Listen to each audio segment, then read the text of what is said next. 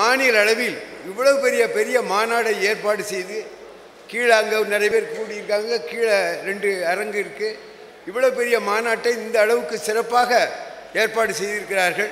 அதுக்கு முதல்ல என்னுடைய பாராட்டுக்களை பழங்குடியினர் பாதுகாப்பு சங்கம் அல்லது மக்கள் கல்வி இயக்கம் இல்லைன்னா நாங்கள் திண்டிவனத்தில் இருக்கக்கூடிய நகர கல்வி மேம்பாட்டுக் குழு சார்பில் முதல்ல இந்த பாராட்டுக்களை தெரிவித்துக் கொள்கிறேன்.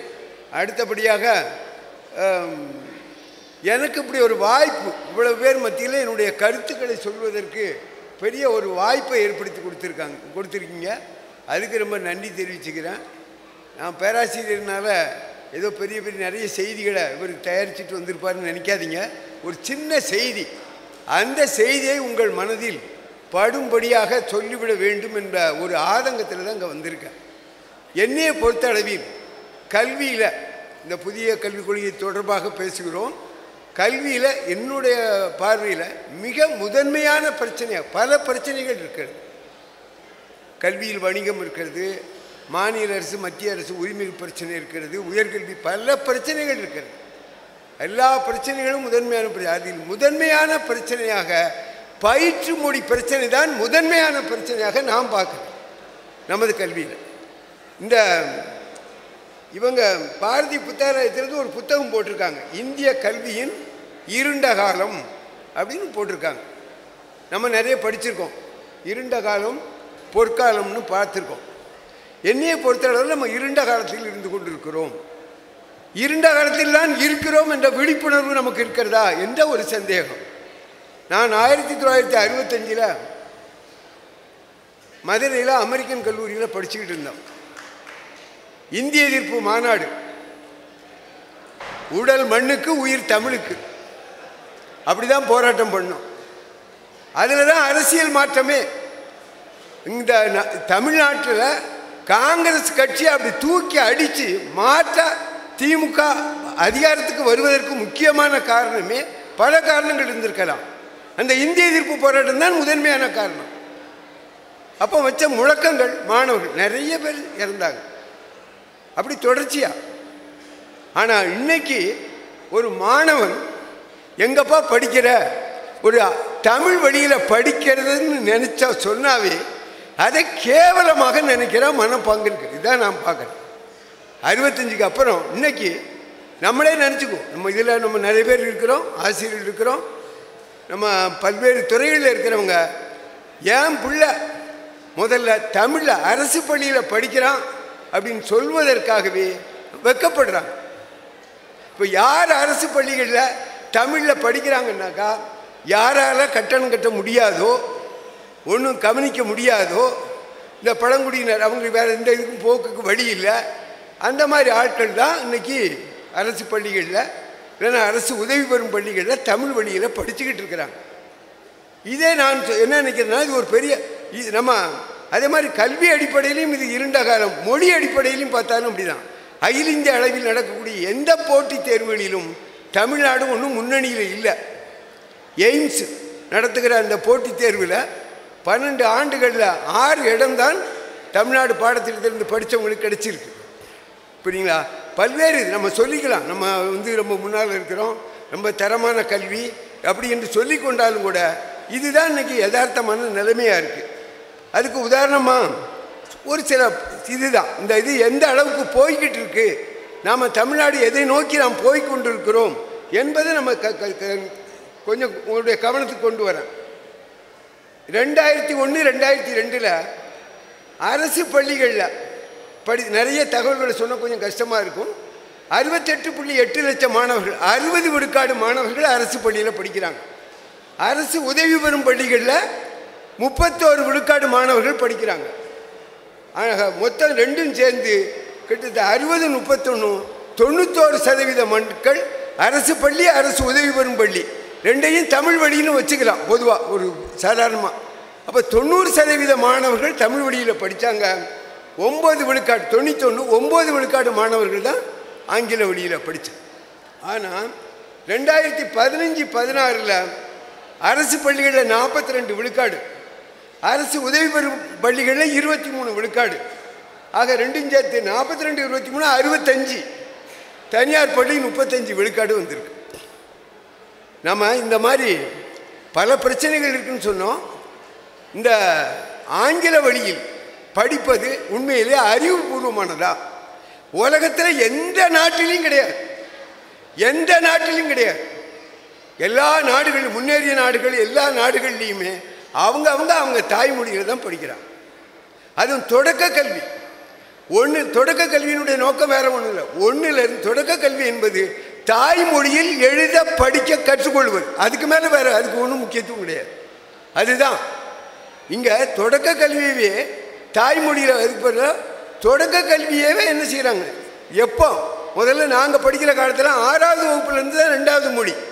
உலகத்தில் எல்லா நாடுகளிலுமே தொடக்கத்திலேயே சேர்க்கும் போதே ரெண்டு மொழிகளையும் படிக்க வேண்டும் என்று எங்கேயும் சொல்லவில்லை எங்கேயும் நடைமுறையிலும் கிடையாது. நடைமுறையிலும் கிடையாது. எல்லா நாடுகளிலுமே ஆறாவது வகுப்பு இல்லைன்னா முதல் மொழி முதல் தொடக்க பத்து வயசு பதினொன்று பதினோரு வயசு இல்லைன்னா பன்னெண்டு வயசுல தான் நமக்கு ரெண்டாவது மொழியவே அறிமுகம் செய்கிறார்கள். ஆனால் இங்க தொடக்க கல்வியே என்னைக்கு வந்து நீங்கள் ஆங்கிலத்தை இப்போ ஒவ்வொரு ஆட்சி மாற்றம் வரும்போது அஞ்சாவது வகுப்புலேருந்து மூணாவது வகுப்புலேருந்து ஆங்கிலம். ஒரு கட்சி ஆட்சி வந்தாச்சு. அடுத்த தடவை இன்னொரு கட்சி ஆட்சிக்கு வந்த உடனே அவர் மூணாவது வரைக்கும் தானே இங்கிலீஷ் கொண்டு வந்தார். நாங்கள் ஒன்றாவது வகுப்புலேருந்தே ஆங்கிலத்தை சொல்லிக் கொடுக்குறோம் என்ற அடிப்படையில் போட்டி போட்டு நடத்தினால என்ன ஆச்சுனாக்கா இங்கே ரெண்டு மொழி ஒரு மொழியை படிக்க வேண்டிய காலகட்டத்தில் ரெண்டு மொழியையும் அறிமுகப்படுத்தினால இன்னைக்கு எம்ஏ முடித்தவர்கள் அல்லனா அதுக்கு அப்படி படித்தவங்க கூட சொந்தமாக தமிழிலேயோ ஆங்கிலத்திலேயோ சொந்தமாக கொஞ்சம் கூட எழுத முடியல அவங்களால. எழுத தெரியல. இதான் இன்னைக்கு உள்ள யதார்த்தமான நிலைமை. இது இங்கே மட்டும் இல்லை இந்திய அளவில். நீட்டு தேர்வு எழுதினதில் மொத்தம் இந்தியாவில் நீட்டு தேர்வு எழுதினதில் எண்பது விழுக்காடு மாணவர்கள் ஆங்கில வழியில் தான் எழுதியிருக்கான். மொத்தம் இந்தியாவில் எழுதின மொத்த மாணவர்களில் எண்பது விழுக்காடு ஆங்கில வழியில். இந்தியில் எழுதினவங்க பதினோரு விழுக்காடு. மீதி எல்லாம் சேர்த்து தான் ஒம்பது விழுக்காடு தான் மீதி உள்ள அந்த பன்னெண்டு மொழிகளில் மாநில மொழிகளில் ஒம்பது விழுக்காடு. அதில் தமிழ்நாடு இருபத்தி நாலாயிரம் பேர் எழுதியிருக்காங்க. மேற்கு வங்கம் எவ்வளோ எழுதியிருக்காங்கன்னா இருபத்தி ஏழாயிரம் பேர். அதுக்கப்புறம் நீங்கள் குஜராத்தை ஐம்பத்தி நாலாயிரம் பேர் எழுதியிருக்காங்க. மற்றது எல்லாமே மாநில மொழிகளில் எங்கள் மொழியில் எழுதணுங்கிற கோரிக்கை கூட அண்மையில் இருக்க கேரளாவில் நாங்கள் எங்கள் தாய்மொழியில் அந்த தேர்வை எழுதணும் அந்த கோரிக்கை கூட அங்கேருந்து வரல. அப்படிங்கிற செய்தியை நாங்கள் சொல்ல கடமைப்பட்டிருக்கிறோம். அதனால் தாய்மொழி வந்து இப்போ வந்து இங்கே நம்ம இந்தி திணிப்பு பேசுகிறோம். சமஸ்கிருத திருப்ப பேசுகிறோம். அதெல்லாம் பேச வேண்டியதான் இந்த திணிப்புக்கு எதிராக போராட வேண்டியதுதான். ஆனால் அதே சமயத்தில் ஆங்கில வழி கல்வி திணிப்பை எதிர்த்து நாம் எந்த குரலும் எழுப்பலை. அதை நான் இங்கே பதிவு செய்ய விரும்புகிறேன் நாங்கள் பழங்குடியிலுள்ள மாணவர்கள் சார்பாக இந்த பள்ளிக்கூடம் திறக்கும்போது மூணாம் தேதி மூணு ஆறு ரெண்டாயிரத்தி பத்தொம்போது அன்னைக்கு பழங்குடி மாணவர்கள் எல்லோரையும் திரட்டி நாங்கள் மாவட்ட ஆட்சியர் அலுவலகம் முன்னால் நாங்கள் வச்ச கோரிக்கை எங்கள் மேலே ஆங்கில வழி கல்வியை திணிக்காதே என்ற முழக்கத்தை வச்சு நாங்கள் ஒரு ஆர்ப்பாட்டம் நடத்தினோம் இந்த ஆர்ப்பாட்டத்தை நடத்த வேண்டிய அவசியம் இருக்குது என்ன அவசியம் இருக்குன்னா நிறைய பள்ளிகளில் எவ்வளோ பெரிய அயோக்கியத்தனம்னு பாருங்கள் ஆங்கிலம் தமிழ்னு ரெண்டுன்னு இருந்தால் அவன் தமிழ்லையாவது ஒரு படிக்கிறதுக்கு ஒரு வாய்ப்பு கிடைச்சிருக்கும். பல பள்ளிகளில் மாணவர்கள் எண்ணிக்கை குறைவாக இருக்கிறது என்ற காரணத்தை சொல்லி நிறைய பேர் ஆங்கில வழியில் மட்டுமே நடத்துகிறார். ஐம்பது பேர் எழுபது பேர் படிக்கிறாங்க. திண்டிவனம் வட்டத்தில் எனக்கே தெரியும். பல பள்ளிகளில் ஆங்கில வழியில் அதுவும் அரசு பள்ளியில் வசதியானவங்க மெட்ரிகுலேஷன் ஸ்கூலில் அவங்க அப்பா அம்மா படிச்சிருப்பாங்க. அவங்க ஏதோ அவங்களுக்கு சொல்லிக் கொடுக்க முடியும். சாதாரண அடித்தட்டு மக்கள். அவங்களுக்கும் பிரச்சனை தான். அதனால் நம்ம தமிழகத்திலும் சரி இந்தியாவிலும் சரி உ- இந்தியாவில் எங்கேயுமே இப்போ இந்தி பேசுகிற மாநிலங்களில் கூட இந்தியில் மருத்துவக் கல்வி கொடுக்கணும்னு யாரும் கேட்கல.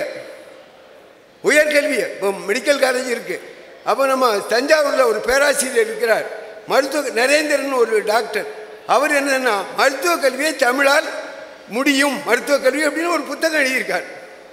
இந்த புத்தகம் வந்த உடனே எனக்கு அந்த புத்தகத்தை இந்த என்சிபி அவங்க தான் அந்த புத்தகத்தை வெளியிட்டிருக்காங்க.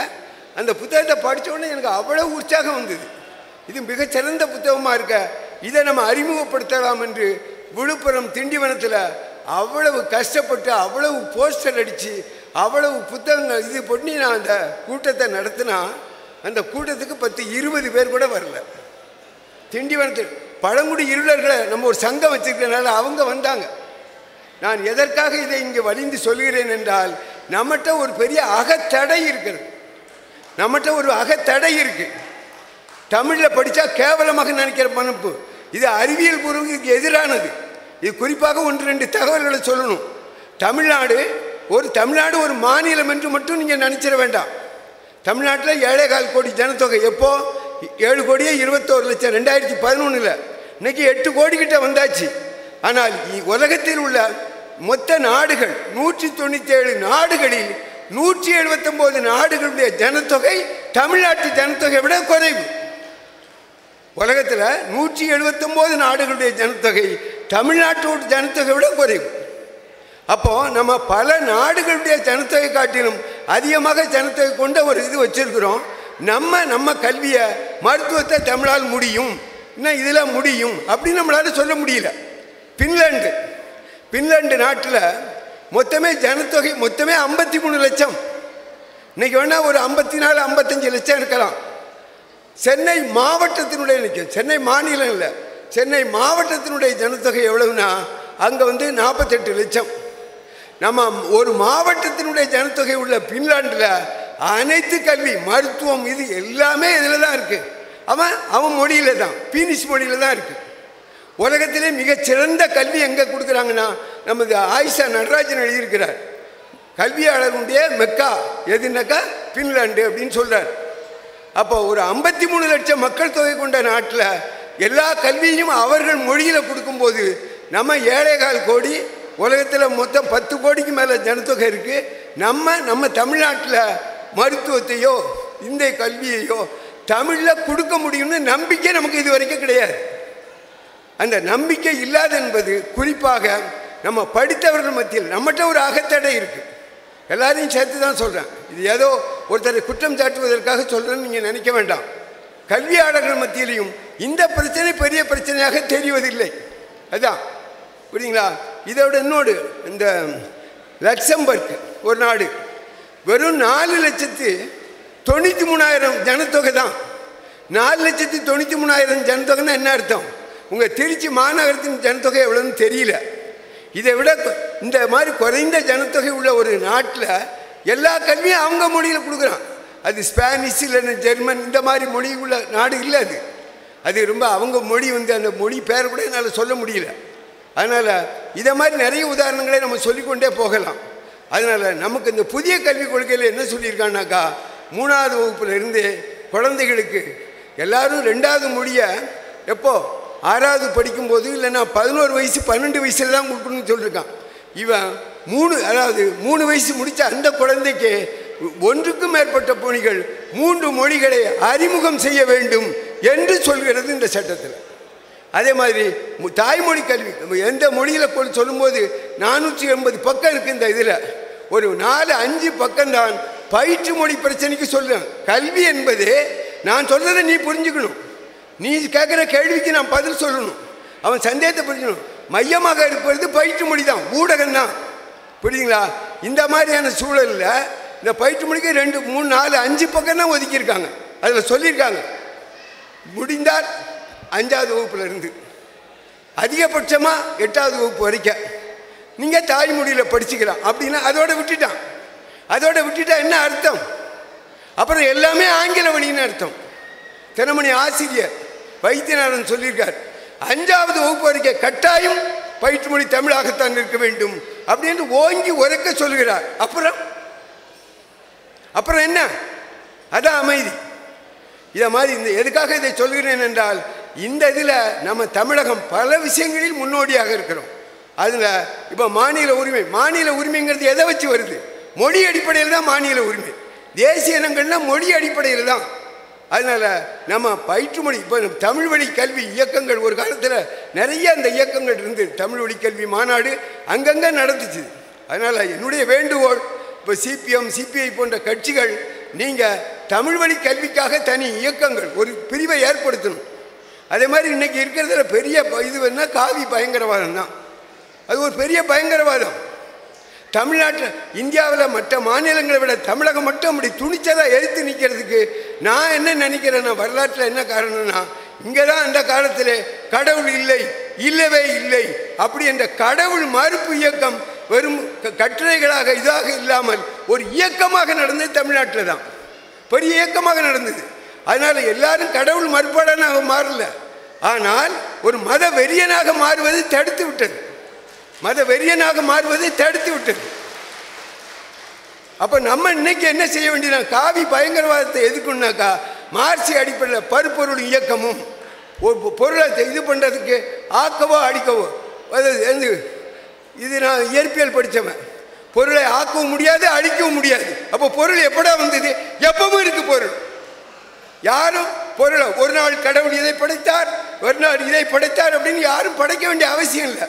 பொருள் எப்பவுமே இருக்கும். பொருள் ஒரு பொருள் என்று இன்னொரு பொருள் மாறும் அவ்வளோதான் பொருளை ஆக்கவும் முடியாது அடிக்கவும் முடியாது. அப்போ இந்த அடிப்படையில் ஒவ்வொரு இயக்கம் பகுத்தறிவு பிரச்சாரத்தை செய்யணும். ஒவ்வொரு கட்சியிலையும் அதுக்குன்னு தனியாக ஒரு அணி ஏற்படுத்தணும்.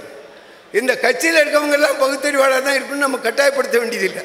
ஆனால் ஜனங்க மத்தியில் இந்த மாதிரியான பிரச்சாரங்கள் எந்த அளவுக்கு நாம் கொண்டு போகிறோமோ அந்த அளவுக்கு தான் அவர்கள் கடவுளை வைத்து தான் அவங்க இந்த மதவெறியை பிரச்சாரத்தை கொண்டு போகிறாங்க அதனால் எல்லா கடவுளும் நம்ம இந்த கடவுள் இசை இயேசுநாதர் இருக்காரு இவர் இருக்காருன்னு அதை சொல்ல உலகத்தில் கடவுளே யாரும் இருக்க முடியாது. யாரும் கிடையாது. நம்மளா ஒவ்வொரு நம்பிக்கை அவங்க வளர்த்துருக்காங்க. இதுக்கு மறுப்பாக மார்க்சிய ரீதியில் பருப்பொருள் இயக்கமும் வரலாற்று பொருள் முதவாதம் இந்த விஷயங்களை தனியாக எடுத்து சொல்லணும் ஒவ்வொரு இயக்கத்திலையும் அதுக்குன்னு ஒரு இங்கே இப்போ எஸ்எஃப்ஐ மாணவர் அமைப்பு வச்சுருக்கீங்க. முற்போக்கு எழுத்தாளர் சங்கம். இல்லைன்னா ஒவ்வொரு அமைப்பும் பல்வேறு அமைப்புகள் பெண்களுக்கு ஒரு அமைப்பு வச்சுருக்கோம். அதனால் பகுத்தறிவு பிரச்சாரத்தை பண்ணுவதற்கு அப்படி ஒரு அமைப்பு கட்டாயம் தேவை. அதே மாதிரி தமிழ் கல்விக்காக நம்ம நிறைய பேசலாம்.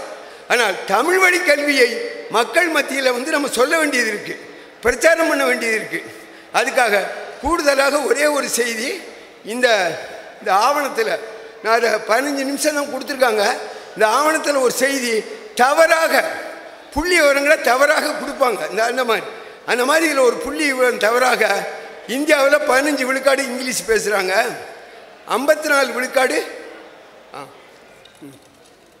ஐம்பத்தி நாலு விழுக்காடு ஹிந்தி பேசுகிறாங்க அப்படின்னு ஒரு தகவல் கொடுத்துருக்காங்க. பதினாலு விழுக்காடு எது? பதினஞ்சு விழுக்காடு ஆங்கிலம். இதில் வந்து ஐம்பத்தி நாலு விழுக்காடு ஹிந்தி பேசுகிறாங்க அப்படின்னா தகவல். அதனால உடனே இந்த அட்ரஸை வச்சு எந்தெந்த ஆறு மாநிலங்கள் ஹிந்தி பேசுகிற ஆறு மாநிலங்கள் உத்தரப்பிரதேசம் மத்திய பிரதேசம் பீகார் உத்தரகாண்ட் இது. அங்கே எவ்வளோ பேர்? மொத்த ஜனத்தொகை. மற்ற மொழிக்காரனு இருப்பான். அதே மாதிரி மற்ற இதுலேயும் இதுலேயும் இருப்பான். இதெல்லாம் வச்சு அங்குள்ள மொத்த மக்களும் ஹிந்தி பேசுவதாக எடுத்துக்கொண்டாலும் கூட அவங்க வந்து மொத்த அவங்க வந்து நாற்பத்தி நாலு கோடியே நாற்பத்தாறு லட்சம் தான் அவங்க. இந்த ஆறு மாநிலத்திலும். இந்தியாவில் மொத்த ஜனத்தொகையில் அதில் விகிதாச்சாரம் போட்டால் முப்பத்தாறு புள்ளி ஏழு நாலு விழுக்காடு. அவ்வளோதான் அவன் சொல்லியிருக்கான் இதில் ஐம்பத்தி நாலு விழுக்காடு ஹிந்தி பேசுகிற மக்கள் இருக்கிறார்கள்.